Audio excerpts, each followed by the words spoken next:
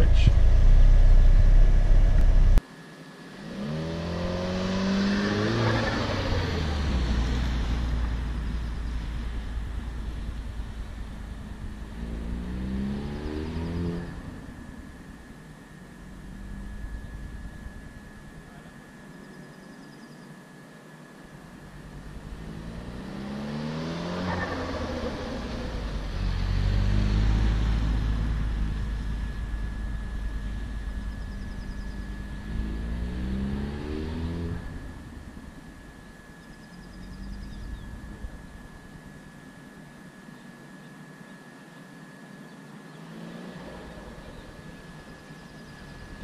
Okay, run.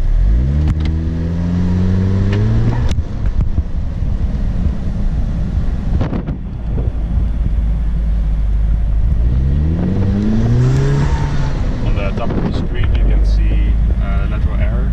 It's labeled E. So you can see that's now within 15 centimeters. Oh cool, wow.